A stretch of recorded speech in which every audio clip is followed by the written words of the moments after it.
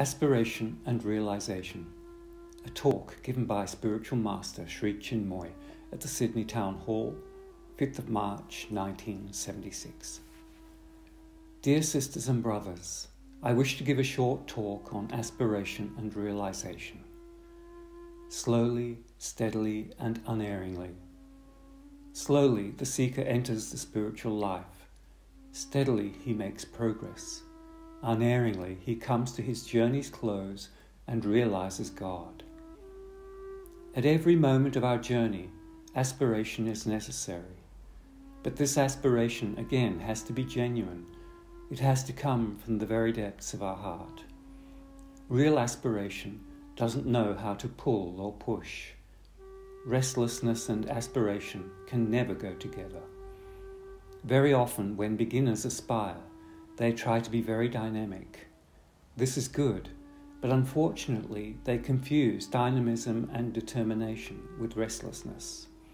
They want to realize God tomorrow, but this kind of restlessness, demand, is not aspiration.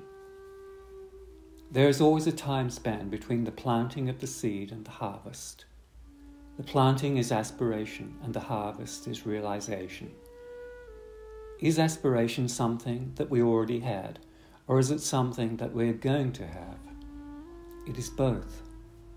If we say that we always had aspiration, this is true, because we live in eternal time. But if we say that we are trying or crying to bring the inner urge of the heart to the fore, here also we are correct. When we sit at the feet of eternity, we realize that aspiration is bound to be followed by realization. And when we make friends with eternal time, we come to realize that realization was hidden all along in aspiration. In the outer world, we see that the tree is a symbol of aspiration. Here on earth, it remains, but its aim is to reach the highest. We human beings are afraid of staying on earth we feel that if we stay on earth, then we cannot reach the highest. We cannot look upward. But the tree makes us feel that this is absurd. The root of the tree is under the ground, but the topmost branch is aspiring towards the highest. In the Upanishads, we come across a tree named the Ashwatha tree. Unlike earthly trees, this tree has its roots above the ground facing the sky and its branches down below. This tree has two types of branches. One type enters into the meshes of ignorance and starts struggling and fighting to come out again into the effulgence of light. The other type of branch always tries to remain up. Its movement is upward, its aspiration is upward.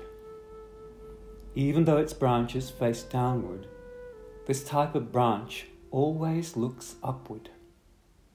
So let us think of this tree and aspire most sincerely and powerfully. Today's aspiration is the realization of tomorrow and the manifestation of the day after tomorrow.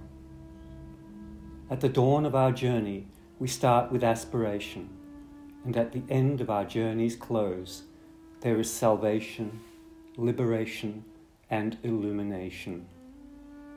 When illumination takes place, it is undoubtedly, unmistakably, infallibly the transcendental victory's crown. Ours is the aspiring soul. Ours is the destined goal, decreed here and now in the immediacy of today.